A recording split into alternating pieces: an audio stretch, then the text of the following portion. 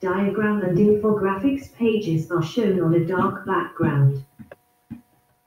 They provide a simple, visual reference to topics discussed. Example pages put together the topics you have learned and demonstrate how they can be applied in each. Summary pages come at the end of each chapter. They remind you of the key topics that were covered in each chapter.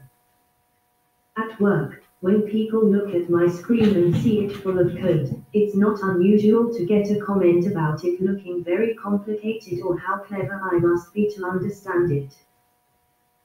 The truth is, it's not that hard to learn how to write web pages and read the code used to create them. You certainly don't have to be a programmer. Understanding HTML and CSS can help anyone who works with the web. Understanding HTML and CSS can help anyone who works with the web. Under designers can create more attractive and usable sites. Website editors can create better content. Marketers can communicate with their audience more effectively. And managers can commission better sites and get the best out of their teams. I've focused on the code you need. 1. HTML We will spend the first chapter looking at how HTML is used to create web pages. You will see that you start by writing down the words you want to appear on your page. You then add tags or elements to the words so that the browser knows what is a heading, where a paragraph begins and ends, and so on. The rest of this section introduces the tags you have at your disposal to create web pages, grouped into chapters on text, lists, links, images, tables, forms, video, audio, and flash, and miscellaneous elements. I should warn you that the examples in the first nine chapters are not exciting to look at, yet they are the foundation of every web page. The following chapters on CSS will show you how to make your pages look a lot more interesting. To CSS we start this section with a chapter that explains how CSS uses rules to enable you to control the styling. 3 Cracked ICAL we end up with some helpful information that will assist you in building better websites. We look at some new tags that will be introduced in HTML5 to help describe the structure of your pages. HTML5 is the latest version of HTML still under development at the time of writing. Before learning about these elements, you need a good grasp of how CSS is used to control the design of web pages. There is a chapter that talks you through a design process that you might like to follow when creating a new website. Finally, we end up looking at topics that will help you once you have built your site, such as putting it on the web, search engine optimization SEO and using analytics software to track who comes to your site and what they are looking at.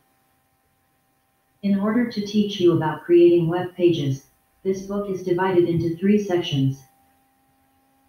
The structure of THIS book. Browsers people access websites using software called a web browser. Popular examples include Firefox, Internet Explorer, Safari, Chrome, and Opera.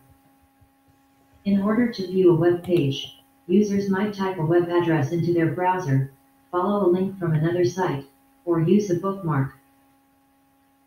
Software manufacturers regularly release new versions of browsers with new features and supporting new additions to languages. It is important, however, to remember that many computer owners will not be running the latest versions of these browsers. Therefore you cannot rely on all visitors to your site being able to use the latest functionality offered in all browsers. You will learn how to tell which browsers visitors use to access your website in Chapter 19. Web servers When you ask your browser for a web page, the request is sent across the internet to a special computer known as a web server which hosts the website. Web servers are special computers that are constantly connected to the internet and are optimized to send web pages out to people who request them. Some big companies run their own web servers. It is but It is already too common to late. use the services said America, sadly. charge a fee to host Our your own men and our sons have joined the ranks of the stranger. are accessing websites They have joined his religion, range of devices, and they help to uphold his government. laptops, If we should try to drive off the white men in It is important to remember that various devices have different screen sizes and some have faster connections to the web than others. Screen readers Screen readers are programs that read out the contents of a computer screen to a user. They are commonly used by people with visual impairments. In the same way that many countries have legislations that require public buildings to be accessible to those with disabilities. Many laws have also been passed that require websites be accessible to those with disabilities. Throughout this book you will see several references to screen readers. These notes will help ensure that the sites you create are accessible to people who use such software. In order for you to find the location of the web server, when you visit a website, the web server hosting that site could be anywhere in the world. In order for you to find the location of the web server, your browser will first connect to a domain name system DNS server. How the web W works. Paris. London. Cambridge. The unique number that the DNS server returns to your computer allows your browser to contact the web server that hosts the website you requested. A web server is a computer that is constantly connected to the web, and is set up especially to send web pages to users. The web server then sends the page you requested back to your web browser. When you connect to the web, you do so via an Internet Service Provider ISP. You type a domain name or web address into your browser to visit a site.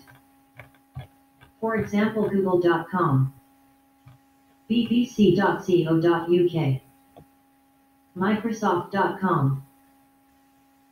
Your computer contacts a network of servers called Domain Name System DNS. Servers. These act like phone books, they tell your computer the IP address associated with the requested domain name. An IP address is a number of up to 12 digits separated by periods. We come across all kinds of documents every day of our lives. Newspapers, insurance forms, shop catalogs, the list goes on.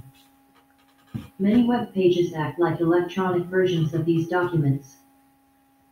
For example, newspapers show the same stories in print as they do on websites. You can apply for insurance over the web, and stores have online catalogs and e-commerce facilities. In all kinds of documents, structure is very important in helping readers to understand the messages you are trying to convey and to navigate around the document. So, in order to learn how to write web pages, it is very important to understand how to structure documents. In this chapter you will see how HTML describes the structure of a web page. Learn how tags or elements are added to your document. Write your first web page. Think about the stories you read in a newspaper for each story. There will be a headline, some text, and possibly some images. If the article is a long piece, there may be subheadings that split the story into separate sections or quotes from those involved. Structure helps readers understand the stories in the newspaper. The structure is very similar when a news story is viewed online, although it may also feature audio or video. This is illustrated on the right with, in the browser when HTML describes the structure of pages. Let's look closer at the code from the last page. There are several different elements. Each element has an opening tag and a closing tag. Code. HTML a CES element test to describe the structure of pages. This is the main heading. This text might be an introduction to the rest of the page. And if the page is a long one, it might be split up into several subheadings. This is a subheading. Many long articles have subheadings so to help you follow the structure of what is being tag indicates that the opening Tag indicates that anything between it and a closing. Tag is HTML code.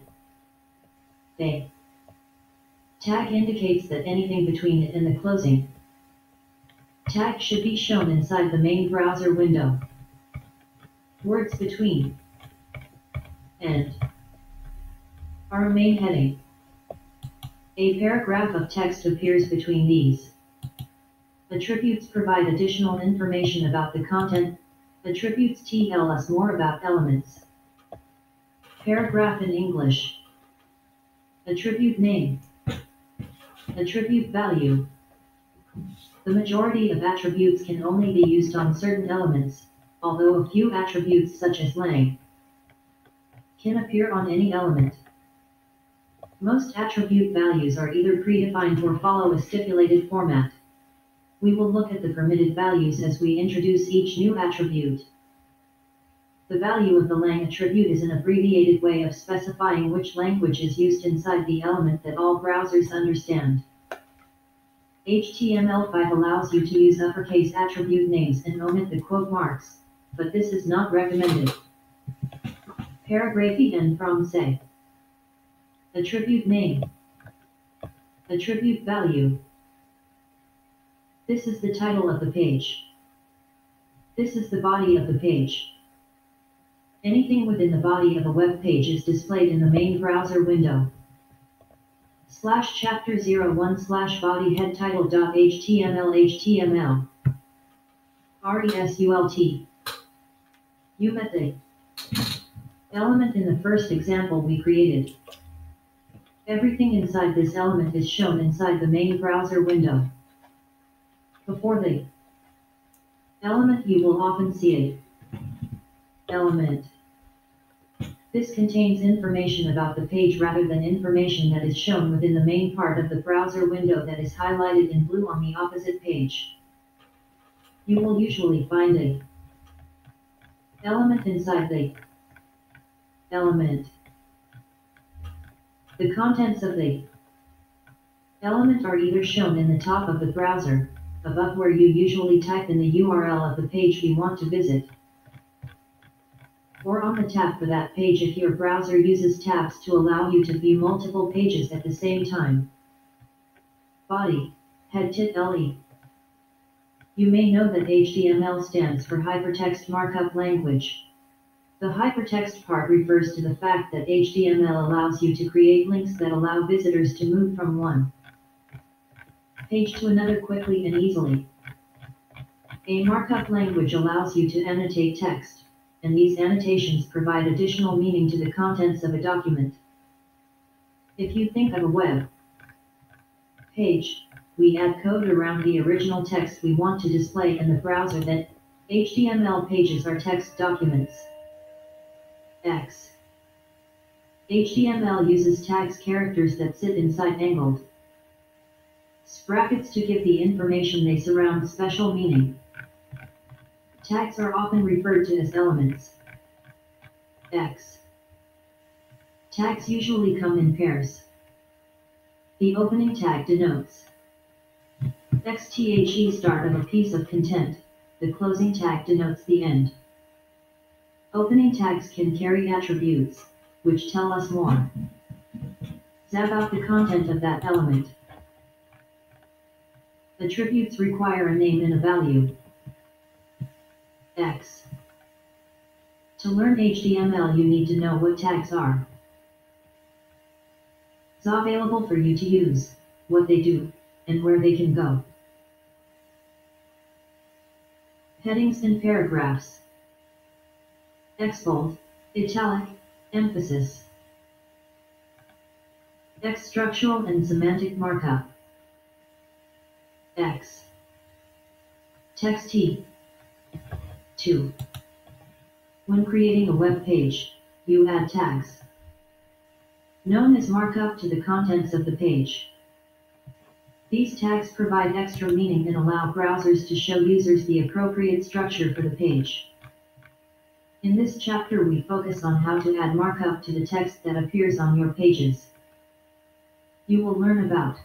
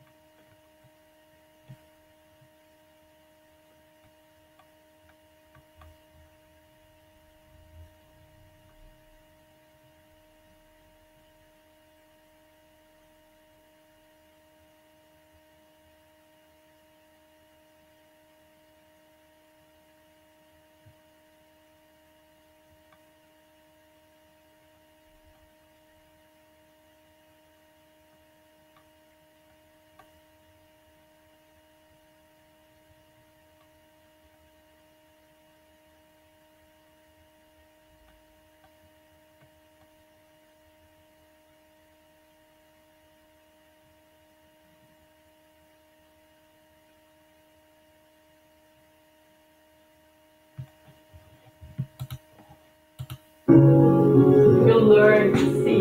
That's what it's all about, actually. To learn to see, to reflect, and to observe your customers.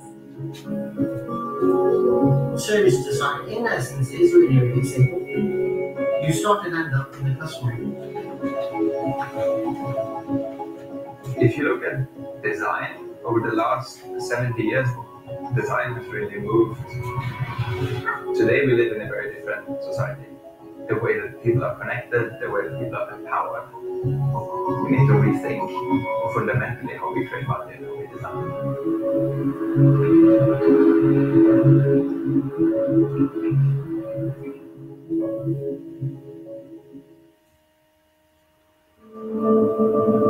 design.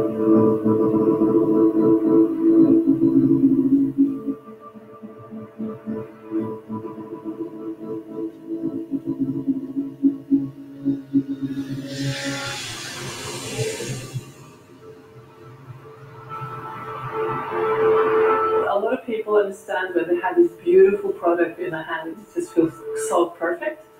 But they kind of don't understand that you can put that on services like a row of products. Service design is more about the process. For the doctors or the nurses or the pilots or whatever, it's actually for the passengers or the customers or the patients. That's where the service design comes in. If you're an employee at this airport and you are just delivering like a small part of the journey of the passenger, if you understand what did the passenger go through before that and after, you will do a better job. Your travel starts actually when you book your ticket. So when we did the service design here, we tracked it all the way from the beginning and all the way through the airport, and you took off. There are uh, important aspects of that whole journey on how we deliver our services here at the airport. If you really want to make your customer happy, you have to put yourself into that situation. You have to use a lot of empathy. Kind of forget that airport is about saying goodbye, expectations, greeting. When we did the service design here, we were watching passengers, how they were behaving, and interviewing them. I was standing in front of the arrival gate, and people kept coming out, and I could feel the expectations from the people standing there with me, just waiting for that exact moment when people arrive. And you don't want to miss it. It's so important with the cameras, they're ready to catch that moment. The screen that showed the status of that aircraft was behind you. Everyone had to turn around and look at it, which made us all stressed because you didn't want to miss that exact moment. So we just moved it.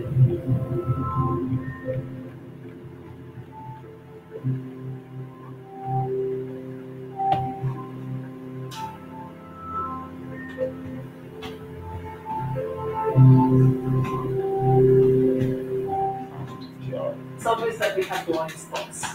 We think we know what the customers, how they behave and why they behave the way they do, but we don't. If you're going to survive in this world and you're competing with other airports, you have to run the airport efficiently. That's basic, that's expected of you. And to really compete, you have to find out what else, what you can put on top of that experience.